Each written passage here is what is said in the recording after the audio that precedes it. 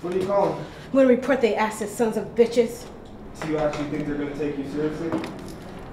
You have any idea how it felt like to have that pig put his hands on me and you watch him do, then you're gonna apologize? What the fuck was that about? What do you want me to do? You want me to get us both shot? They're gonna shoot us on Ventura Boulevard? Yeah, so you would have just been satisfied being arrested. You're right, Cam. Better yet, have him shove his hands up my crotch, then get your name in the paper.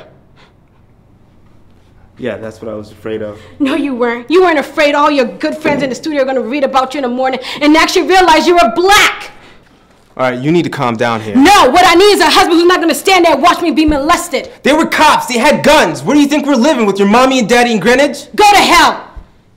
You know, maybe I should have let them lock your ass up. Then sooner or later you would know what it feels like to be black. Fuck you! you like you know, the closest you ever came being black is watching the Cosby Show. At least I wasn't watching with the rest of the equestrian team. You know you're right, Cam.